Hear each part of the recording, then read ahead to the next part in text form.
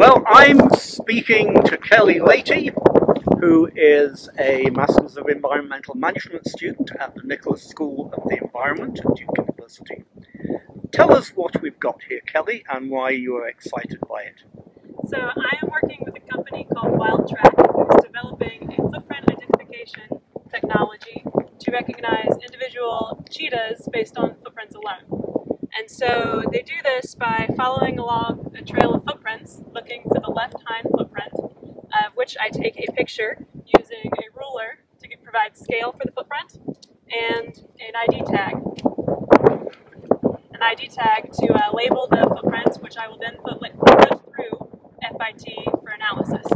Once FIT, um, the footprint is in FIT, what will happen is it should be able to tell us the, um, that this is in fact a cheetah, that it is a male and female, what age class it is in, and if this individual the same one that is walking down further around, further down the road, or if this is a new individual.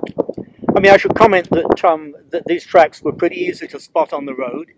Um, even even I spotted them, um, and um, for every uh, time you see a cheetah, you see very very many more footprints. That's true of most big cats.